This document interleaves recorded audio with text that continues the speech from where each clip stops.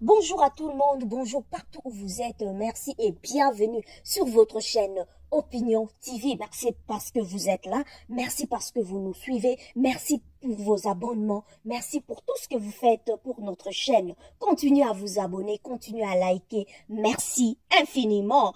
Euh, Aujourd'hui, c'est l'histoire d'une maman camerounaise. Cette maman, elle a eu à élever seule ses enfants des ghettos ebi comme ça se passe euh, dans nos pays africains. Cette maman camerounaise a élevé seule ses enfants. Elle a travaillé dur, dur, dur. Elle travaillait au moulin. Bisomoroto ebi ba machine à.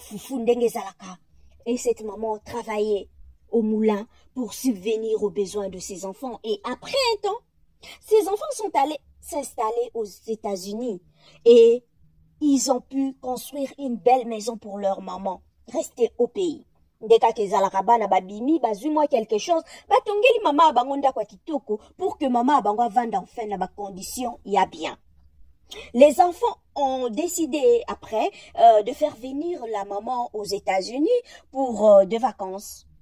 Car pour ces enfants, leur maman euh, méritait mériter de passer de beaux jours et de finir ou de vivre paisiblement et finir ses jours dans la joie, la paix, entouré de ses petits-enfants, entouré de beaucoup d'amour. C'est ça. Banana va décider de faire venir maman la bango aux États-Unis à passer moi tant qu'on car elle méritait, elle a eu à travailler dur, elle s'est donné corps et âme pour pour les élever, elle s'est sacrifiée pour que ses enfants ne manquent de rien. Il était donc normal et euh, euh, il était donc normal qu'elle puisse euh, profiter ou de jouir euh, enfin du fruit de, de ses sacrifices, de ses énormes sacrifices consentis tout au, tout au long de sa vie, à élever, à éduquer, à instruire ses enfants. Une fois le visa en poche, la maman organise une petite réception chez elle au Cameroun. Elle a eu à inviter ses proches, amis, connaissances, Boebikaka, Ndengezalaka, comment nous vivons notre solidarité euh, africaine. Notre solidarité ne tombera jamais. To vivara bongo, to kolibongo, c'est notre ambiance, c'est notre euh, environnement. Et la maman voulait partager sa joie, voulait partager son petit secret tout autour d'elle. La maman a organisé enfin cette petite réception.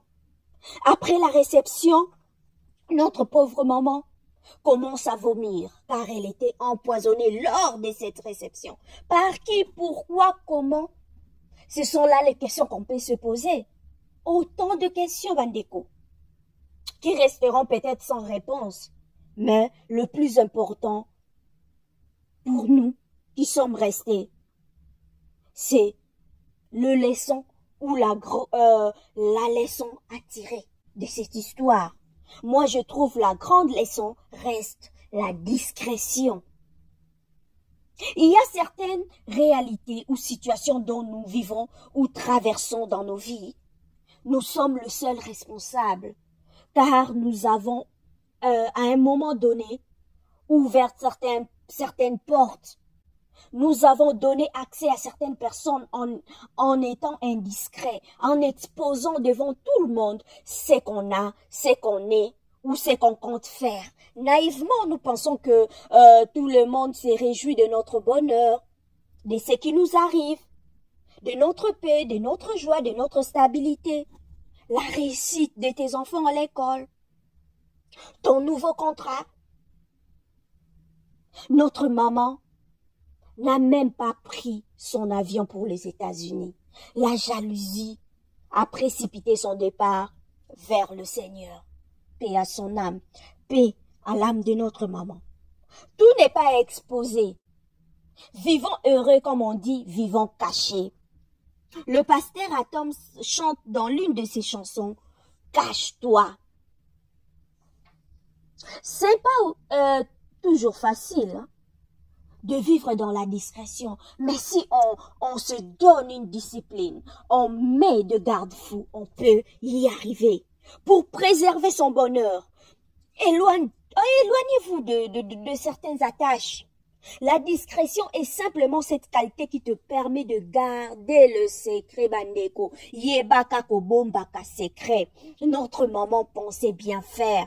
Sans arrière-pensée, elle croyait que son entourage se réjouissait de son bonheur et qu'elle pouvait partager euh, cette recette, euh, si on peut le dire ainsi, cette recette magique, cette recette euh, de sa réussite, comment elle a fait. Elle pensait que partager cela avec son entourage, avec ses proches, aiderait peut-être une autre maman qui vit ou qui traverse le, la même situation qu'elle, qu'elle avait à l'époque. Comment elle a fait pour élever ses enfants? Comment elle a fait pour les éduquer, les instruire? Comment elle faisait pour gagner son pain chaque jour? Pour qu'une autre maman tire quelque chose qui peut bien l'orienter qui pourra aussi l'aider à s'en sortir. Nous savons tous euh, dans nos pays d'où nous venons, dans nos pays africains, l'aide sociale euh, ou l'intervention de l'État euh, n'existe presque pas. Donc chacun se débrouille comme il peut. comme il peut imaginer un peu, tu te retrouves seul avec tes enfants en bas âge, sans soutien, sans intervention de X ou de Y. Tu dois te battre doublement pour nouer les deux bouts de moi et c'est ça le quotidien de tous ces moments-là, de toutes ces femmes-là. Boko la tangisa lesa malade ya butu et ya moi. Tu es là, tu dois euh, ramener du pain pour tes enfants, les amener à l'école, euh, euh, lorsqu'ils sont malades. Tout ça, tu dois subvenir à ce besoin-là. Et cette maman était au four et au moulin. C'est pas du tout facile. Par là, je voulais dire bravo à toutes ces femmes-là qui se battent jour et nuit pour euh, relever ces défis. Si nous allons dans la Bible, ce qui la Bible, nous verrons plusieurs exemples sur la discrétion, plein d'histoires sur la discrétion. L'histoire de Joseph. Ses frères étaient jaloux de Joseph juste à cause de ses rêves.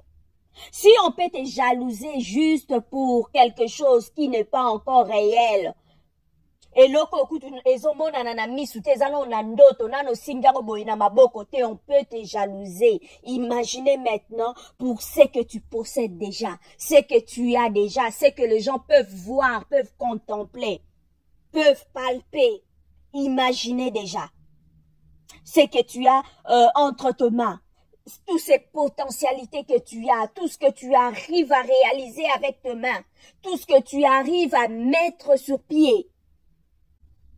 Dans la Bible, toujours, nous avons l'histoire d'Esther.